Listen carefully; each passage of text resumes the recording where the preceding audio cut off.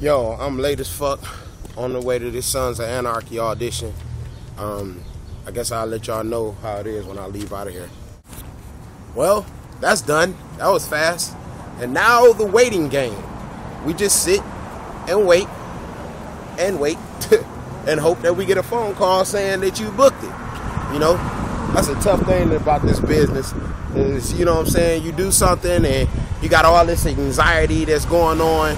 You like, damn, man, do I get the part? Do I not got it? Can I go on to think about something else? But you don't know, you know what I'm saying? So we just gotta wait and see. But the director seemed to, you know, had liked me. It was a black guy.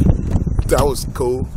And uh, you know, they were familiar with my work. So we'll see what happens. Clearly, you guys will be the first to know if I get it. Sons of Anarchy. Y'all say y'all like that, so that's what's up. Now I gotta drive my ass all the way the fuck back to West LA in this traffic, man. This traffic is a beast, man. It make you want to kill your kids. Oh, motherfucker. What up, yo? We got the Amazon show right now. It's his birthday. You know what I'm saying? About to represent the shit. You know what I'm saying? It's my best friend, man. Els, what up? Yeah, here we are. What up? Here, nigga. Happy birthday, nigga. Happy birthday. Film that nigga. Film that nigga. Film that nigga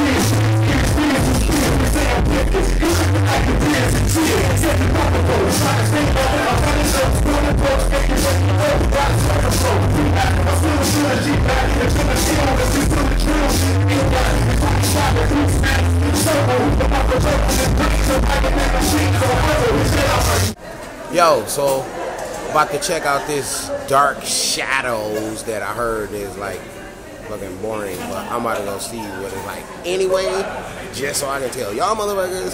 So y'all better be happy, cause I am spending my goddamn money just to give you a damn review on some shit that I don't even want to see. Sorry, people are looking at me like I'm weird as fuck, I am. so anyway, I'll let y'all know how it is when I leave out of here. Alright, bitch. Okay, that was so boring that I just had to walk out. Uh, yeah. I'm sleepy.